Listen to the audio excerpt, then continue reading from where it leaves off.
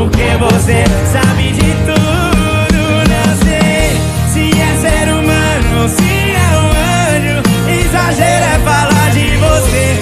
Passo meu tempo te admirando. Só queria saber se é ser humano ou se é um anjo. Diz aí, quero ouvir de você.